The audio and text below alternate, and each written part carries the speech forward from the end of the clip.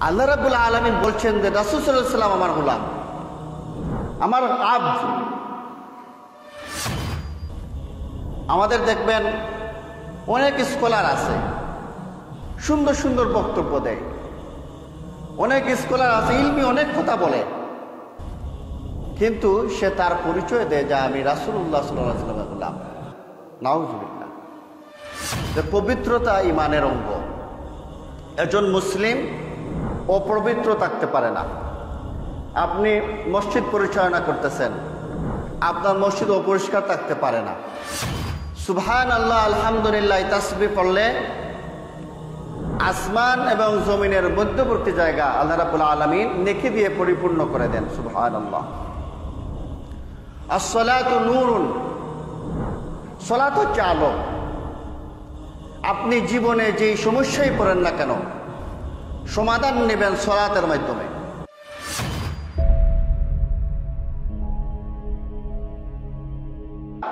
আল্লাহ রাবুল্লাহ আলমী যখন রসুল্লাহ সাল আলী আসাল্লামকে ম্যারাজে নিয়ে যান, ইসরা করাতে নিয়ে যান, উর্দু আকাশে গমন করতে নিয়ে যান, তখন আল্লাহ রাবুল আলমী নসরুল্লাহ সাল আলী আসাল্লামকে রাসুল বলেন নাই, নবী বলেন নাই, প্রেসিডেন্ট বলেন নাই অন্য কিছুই বলেন নাই, মুসলিম বলেন নাই, বলছেন আমার গুলাম, আমার আব্দ রাসুল সাল্লাহ আলী সাল্লামকে আল্লাহ রাবুল আলমিন, গুলাম বলে সম্বোধন করলেন। মুসলিম উম্মার জন্যে আল্লাহর গোলাম হতে পারাটাই সার্থকতা। আল্লাহর গোলাম হতে পারাটাই সফলতা। সুবহান আল্লাযী আসরা বিআবদিহি লাইলাম মিনাল মসজিদিল হারাম। আল্লাহ তার বান্দাকে ইসরা করিয়েছেন মসজিদুল হারাম থেকে মসজিদুল আকসা পর্যন্ত। আল্লাহ রাবুল আলমিন বলছেন যে রাসুল সাল্লাম আমার গোলাম, আমার আব্দ। কিন্তু আমরা আল্লাহর গোলাম বলতে আমরা স্বাচ্ছন্দ্য বোধ করি না। আমাদের দেখবেন অনেক স্কলার আছে, সুন্দর সুন্দর বক্তব্য দেয়। অনেক স্কলার আছে, ইলমি অনেক কথা বলে। কিন্তু সে তার পরিচয় দেয়, যা আমি রাসুল্লাহ সাল্লাহ সাল্লামের গোলাম। নাউজুবিল্লাহ। আল্লাহ রাবুল্লাহ আলমী কি মানব জাতিকে সৃষ্টি করেছেন রাসুলের গোলামি করার জন্যে, নাকি আল্লাহর গোলামি করার জন্যে? বুক ফুলিয়ে বলতেছে, যে আমি রাসুল্লাহ সাল্লাহ সাল্লামের গোলাম বলছি। অথচ তার বলা উচিত ছিল, আমি আল্লাহর গোলাম বলছি। কিন্তু তার কি দুর্বাগা, তার ইলিম আছে তার বাকপটুতা আছে, সে কথা বলতে পারে, কিন্তু আল্লাহর গোলাম এই কথাটা বলতে পারে না। আল্লাহ রাবুল্লাহ আলমিন কি বলছেন? ওমা খলকুল জিন্নাওয়াল ইনসা ইল্লা আবুদুন আল্লাহ রাবুল্লাহ আলমিন মানব জাতি এবং জিন জাতিকে কেন সৃষ্টি করেছেন? আল্লাহর ইবাদত করার জন্যে, দাসত্বে করার জন্যে। তাহলে রাসুল সাল্লাহ ইসলামের ইবাদত করার জন্য তো আমাদের সৃষ্টি করা হয় নাই। রাসুল সাল্লামের দেখানো পদ্ধতিতে ইবাদত করার জন্য সৃষ্টি করা হয়েছে। রাসুল পথ দেখাবেন। রাসুল সিস্টেম বলে দিবেন। রাসুল বলবেন কীভাবে আমরা সালাত আদায় করব। রাসুল বলবেন আমরা কীভাবে সিয়াম আদায় করব। আমরা এবাবত এবাদত কোন তরিকায় করব? রাসুল সেই তরিকা শিখাবেন। কিন্তু আমরা রাসুলের আবাদত করি না। আমরা রাসুলের গুলাম নই। অতএব আল্লাহ রাবুল আলমিন রাসুল্লাহ সাল্লাহ সাল্লাম বলছেন, গুলাম, যে বরকতময় সেই সত্তা যিনি তার গুলামকে নাজিল করেছেন, গুলামের উপরে কি? নাজ্জালাল ফুরকান, সত্য মিথ্যার পার্থক্যকারী। আলা নাজ্জালাল ফুরকান আলা আবদিহি লিয়াকুনা লিল আলামিন নাদিরা যাতে করে তিনি মানুষ দিগুকে তার আল্লাহ বান্দা গোলামদেরকে তিনি পথ প্রদর্শন করাতে পারেন। এই কোরআন হচ্ছে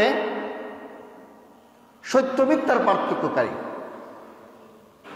তবে একটা কথা মনে রাখতে হবে, কোরআনের মাধ্যমে মানুষ যেভাবে দিশা পায়, কোরআনের মাধ্যমে মানুষ বিভ্রান্ত হয়।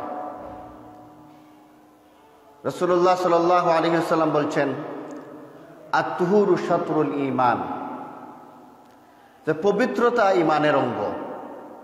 একজন মুসলিম অপবিত্র থাকতে পারে না। আপনি মসজিদ পরিচালনা করতেছেন। আপনার মসজিদ অপরিষ্কার থাকতে পারে না। আপনার বাড়ির আঙ্গিনা অপরিষ্কার থাকতে পারে না। আপনার ঘরের ভিতর অপরিষ্কার থাকতে পারে না। একজন মুসলিম মানেই সে পরিষ্কার পরিচ্ছন্ন থাকবে। কারণ পরিষ্কার পরিচ্ছন্নতা হচ্ছে ইমানের অঙ্গ। ওয়ালহামদুলিল্লাহ তামলাউল মিজান। আলহামদুলিল্লাহ এই জিকির, এই তাসবিহ মিজানের পাল্লাকে বাড়ি করে দেয়। আল্লাহ আলহামদুলিল্লাহ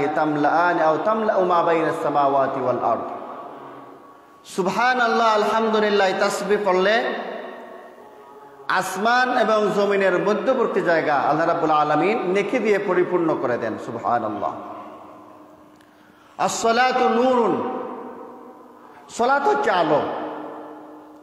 আপনি জীবনে যেই সমস্যায় পড়েন না কেন, সমাধান নেবেন সলাতের মাধ্যমে। আপনি ব্যতীত আপনি দুই রেখা সলাত আদায় করেন। আপনি কষ্টে আছেন দুই রেখা সলাত আদায় করেন। আপনি মুসিবতে আছেন দুই রেখাত সলাতের মাধ্যমে আল্লাহ রাবুল আলমিনের সাহায্য নেন। আপনি ঋণগ্রস্ত আল্লাহ রাবুল আলমিনের কাছে দুই রেখা সলাত আদায় করেন। আপনি বাইরে সফরে বের হবেন, দুই রেখা সলাত আদায় করেন। যে কোনো ধরনের কাজে বের হবেন, দুই রেখা সলাত আদায় করবেন। আপনি এই সলাত হচ্ছে নূর। সলাতের মাধ্যমে আপনি আপনার সমস্যার সমাধান করবেন। এটা হচ্ছে রসুল্লাহ সাল্লামের আমল, সাহাবাদের আমল। রসুল আল্লাহ রাবুল্লাহ আলমিন বলছেন, ইয়া ইউহাল্লাদিন আমানুস্তাইন বিশ্বরি ওয়াসলাহ যে হে ইমানদারেরা, তোমরা সবরের মাধ্যমে, দর্জ এবং সলাতের মাধ্যমে আল্লাহ রাবুল্লাহ আলমিনের সাহায্য প্রার্থনা করো। তো রসুল্লাহ সাল্লাহ আলি বলছেন সলাত নূরুন। সলাত হচ্ছে আলো। অসদ্দকাত বুরহানুন। এবং সদাকা হচ্ছে দলিল।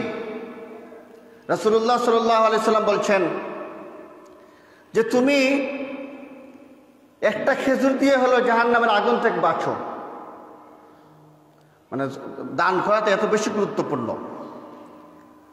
যদি তা না করতে পারো, তাহলে যদি তোমার এত একটা খেজুর দেওয়ার মতো যদি সামর্থ্য না থাকে, তাহলে তুমি মানুষের সাথে মুচকি হাসি দিয়ে কথা বলো।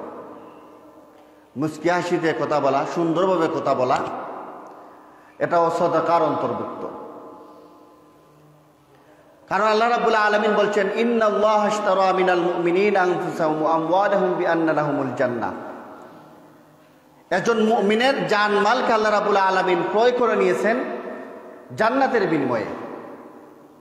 একজন মমিন আল্লাহ রাবুল্লাহ আলমিনের কাছ থেকে জান্নাত নিতে চায়, তাহলে তার জান জান আল্লাহ রাবুল্লাহ আলমিনের প্রতি সমর্পিত করবে, তার মালও আল্লাহ রাবুল্লাহ আলমিনের প্রতি সমর্পিত করবে।